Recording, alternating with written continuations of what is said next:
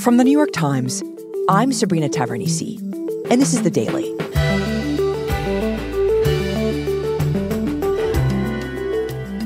This month, for the first time, the Environmental Protection Agency began to regulate a class of synthetic chemicals known as forever chemicals in America's drinking water. But the chemicals, which have been linked to liver disease and other serious health problems, are in far more than just our water supply. Today, my colleague Kim Tingley explains.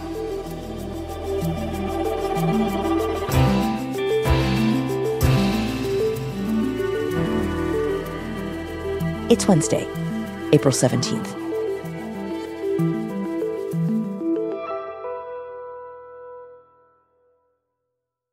So, Kim, anytime the EPA announces a regulation, I think we all sort of take notice because implicit in it is this idea that we have been exposed to something, something bad, potentially, lead or asbestos, you know. And recently, the EPA is regulating a type of chemical known as PFAS.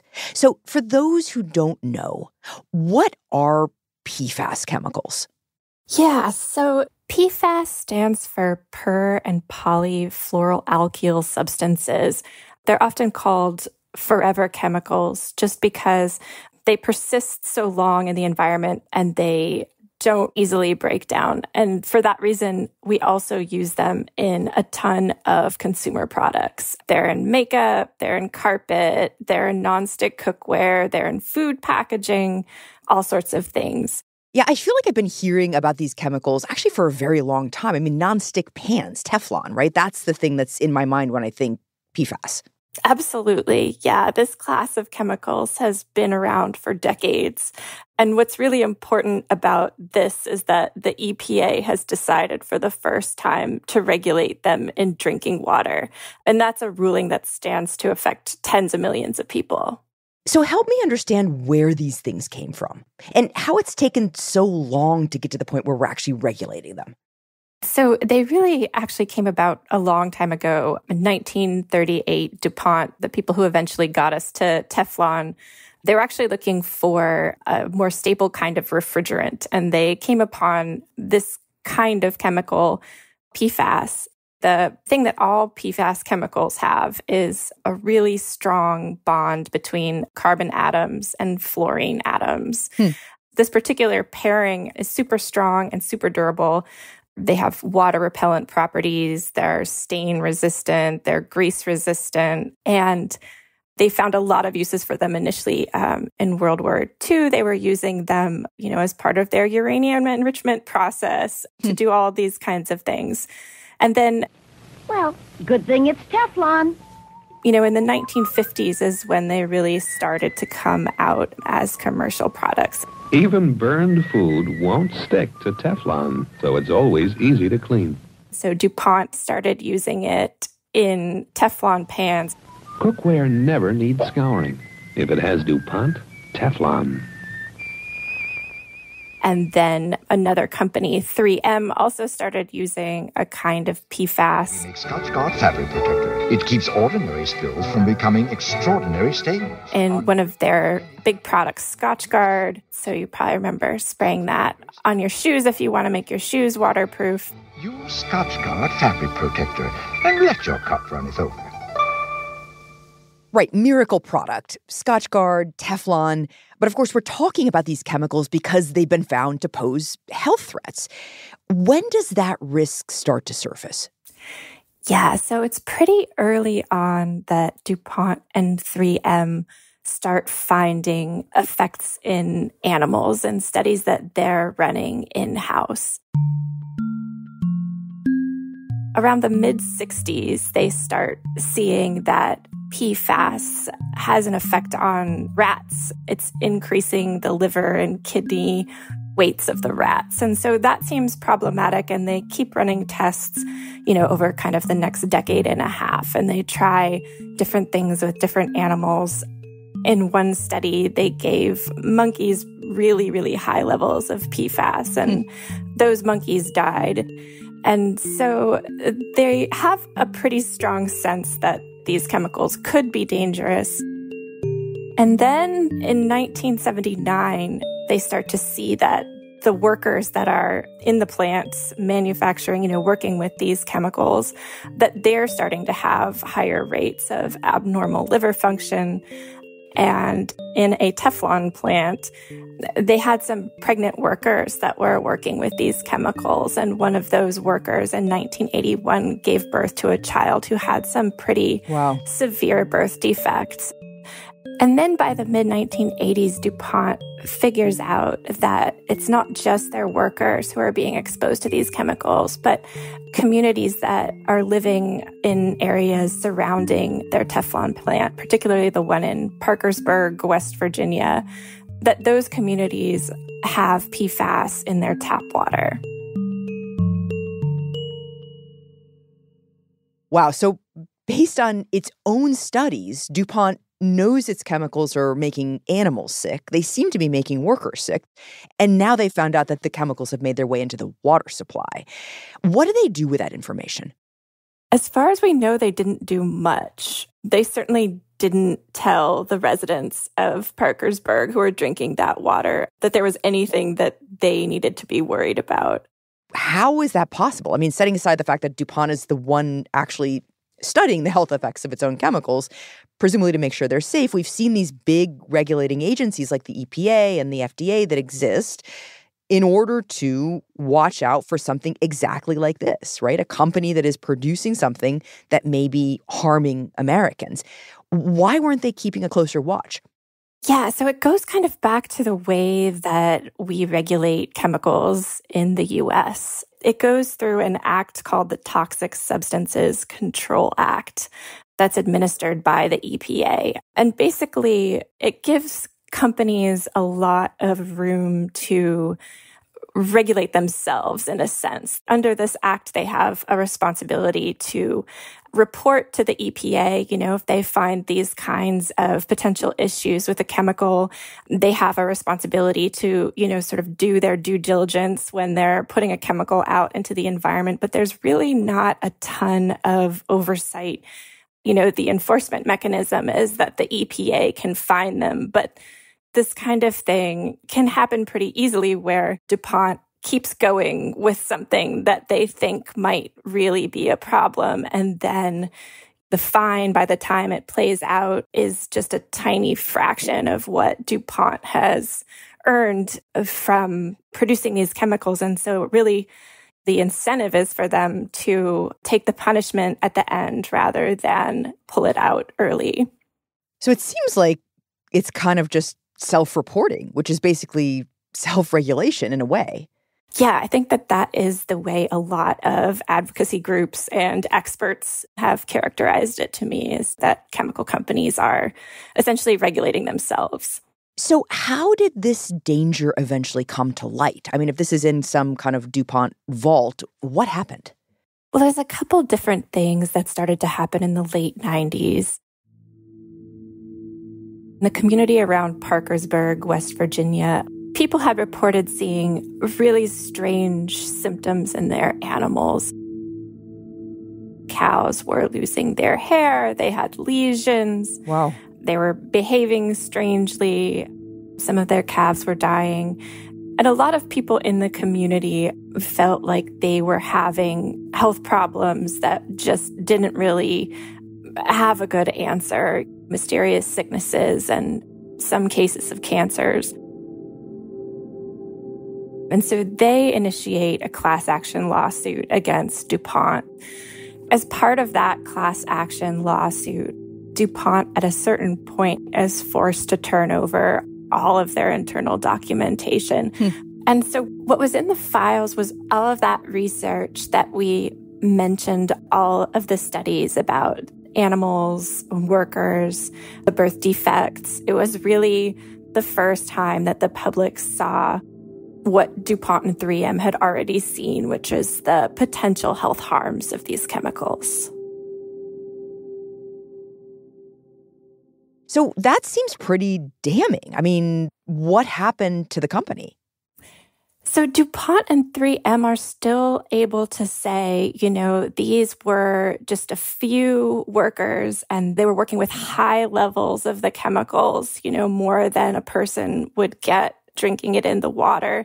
And so there's still sort of an opportunity for this to be kind of correlation, but not causation. There's not really a way to use that data to prove, uh, you know, for sure that it was PFAS that caused these health problems. In other words, the company is arguing look, yes, these two things exist at the same time, but it doesn't mean that one caused the other. Exactly. And so, one of the things that this class action lawsuit demands in the settlement that they eventually reach with DuPont is they want DuPont to fund a formal independent health study of the communities that are affected by this PFAS in their drinking water. And so they want DuPont to pay to figure out for sure, using the best available science, how many of these health problems are potentially related to their chemicals. Hmm. And so they ask them to pay for it and they get together an independent group of researchers to undertake this study. And it ends up being the first, and it still might be the biggest epidemiological study of PFAS in a community. They've got about 69,000 participants in this study. Wow, that's big. It's big, yeah. And what they ended up deciding was that they could confidently say that there was what they ended up calling a probable link. And so they were really confident that the chemical exposure that the study participants had experienced was linked to high cholesterol, ulcerative colitis, thyroid disease, testicular cancer, kidney cancer, and pregnancy induced hypertension. Wow. And so those were the conditions that they were able to say with a good degree of certainty were related to their chemical exposure. There were others that, you know, they just didn't have the evidence to reach a strong conclusion. So overall, pretty substantial health effects and and kind of vindicates the communities in West Virginia that were claiming that these chemicals were really affecting their health. Absolutely. And as the years have gone on, that was sort of just the beginning of researchers starting to understand all the different kinds of health problems that these chemicals could potentially be causing. And so, since the big DuPont class action study, there's really just been like this building and building and building of different researchers coming out with these different pieces of evidence that have accumulated to a pretty alarming picture of what some of the potential health outcomes could be.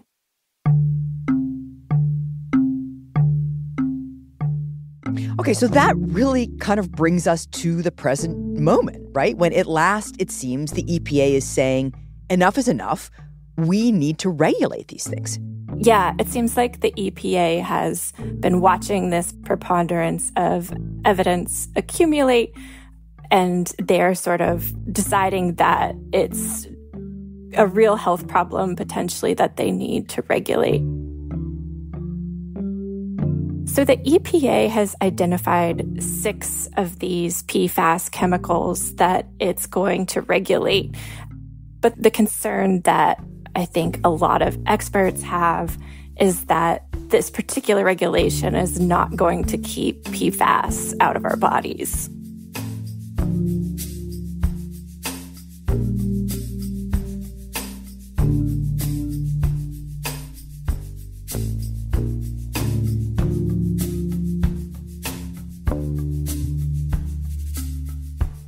We'll be right back.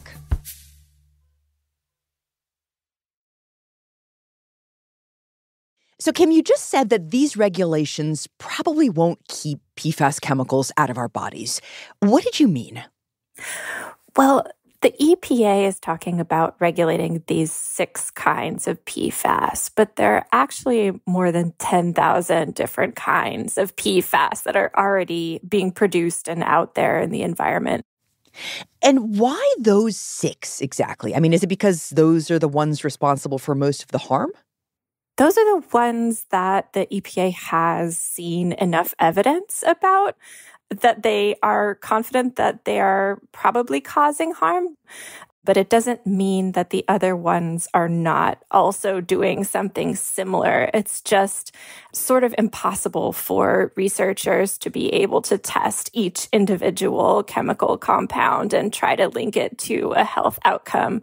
I talked to a lot of researchers who were involved in this area, and they said that, you know, they haven't really seen a PFAS that doesn't have a harm but they just don't have information on the vast majority of these compounds. So, in other words, we just haven't studied the rest of them enough yet to even know how harmful they actually are, which is kind of alarming. Yeah, that's right. And there's just new ones coming out all the time. Right.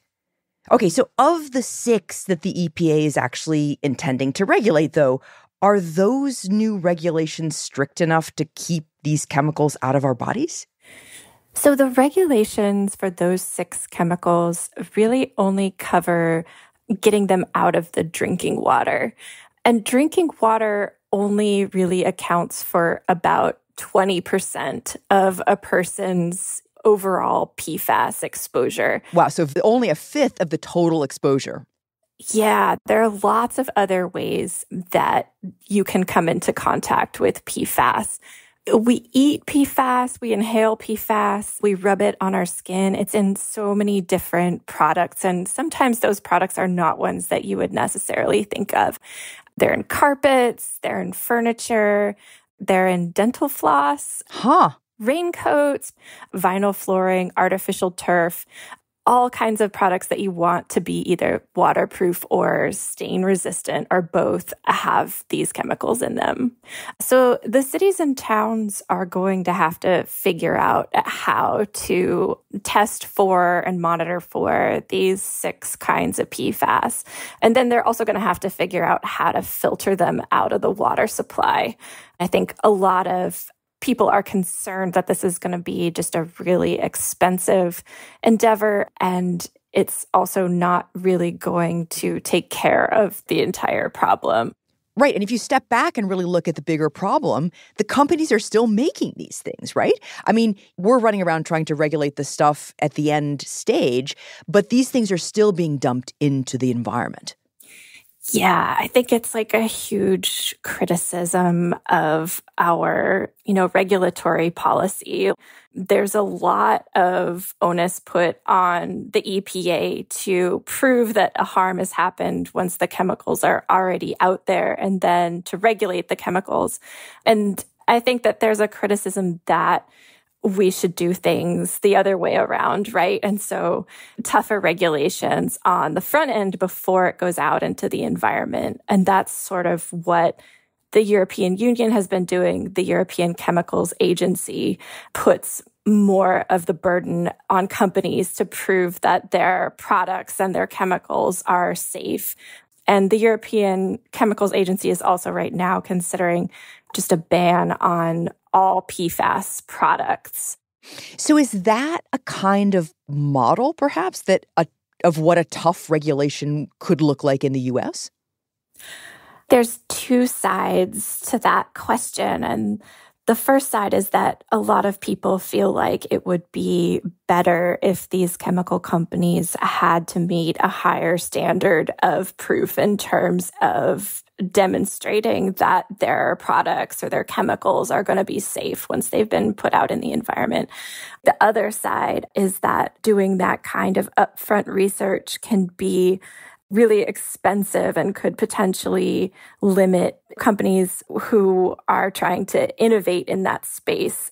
In terms of PFAS specifically, you know, this is a really important chemical for us. And a lot of the things that we use it in, there's not necessarily a great replacement at the ready that we can just swap in. And so, you know, it's used in all sorts of like really important medical devices or renewable energy industries or firefighting foam. And in some cases, there are alternatives that might be safer that companies can use. But in other cases, they just don't have that yet. And so PFAS is still really important to our daily lives.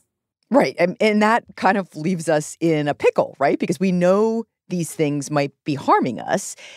yet we're kind of stuck with them, at least for now.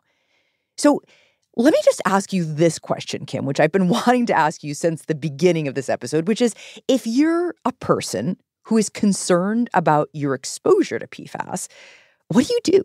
Yeah, so this is really tricky. And I asked everybody this question who I talked to, and everybody has, you know, a little bit of a different answer based on their circumstance. For me, what I ended up doing was getting rid of the things that I could sort of spot and get rid of. And so, you know, I got rid of some carpeting and I checked, you know, when I was buying my son a raincoat that it was, you know, made by a company that didn't use PFAS. It's also expensive, right? And so if you can afford to get a raincoat from a place that doesn't manufacture PFAS, it's going to cost more than if you buy, you know, the budget raincoat. And so, hmm. you know, it's kind of unfair to put the onus on consumers in that way. And it's also just not necessarily clear where exactly your exposure is coming from. So, you know, I talked to people who said, well, you know, it's in dust.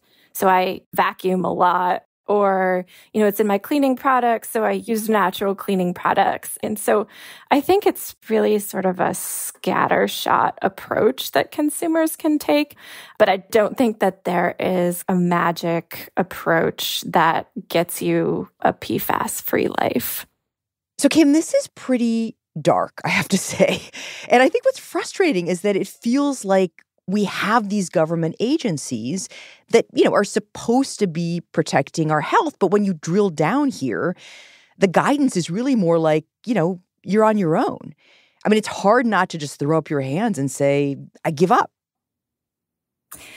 Yeah, I think it's really tricky to try to know kind of what you do with all of this information as an individual as much as you can. You can try to limit your individual exposure, but it seems to me as though it's at kind of a, a regulatory level that meaningful change would happen and not so much, you know, throwing out your pots and pans and getting new ones. One thing about PFAS is just that we're in the stage still of trying to understand exactly what it's doing inside of us. And so there's a certain amount of research that has to happen in order to both convince people that there's a real problem that needs to be solved and clean up what we've put out there.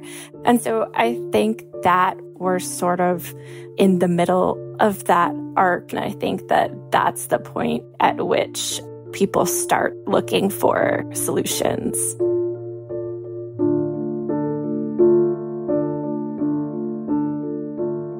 Kim, thank you. Thank you.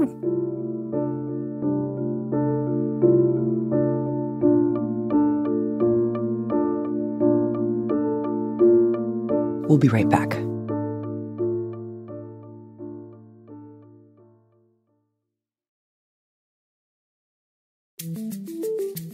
Here's what else you should know today. On Tuesday, in day two of jury selection for the historic hush money case against Donald Trump, lawyers succeeded in selecting seven jurors out of the 12 that are required for the criminal trial, after failing to pick a single juror on Monday. Lawyers for Trump repeatedly sought to remove potential jurors whom they argued were biased against the president. Among the reasons they cited were social media posts expressing negative views of the former president, and in one case, a video posted by a potential juror of New Yorkers celebrating Trump's loss in the 2020 election. Once a full jury is seated, which could come as early as Friday, the criminal trial is expected to last about six weeks. Today's episode was produced by Claire Tennesketter, Shannon Lin, Summer Thomad, Stella Tan, and Jessica Chung, with help from Sydney Harper. It was edited by Devin Taylor. Fact checked by Susan Lee. Contains original music by Dan Powell, Elisheba Ittoop, and Marian Lozano. And was engineered by Chris Wood. Our theme music is by Jim Brunberg and Ben Landsverk of Wonderly.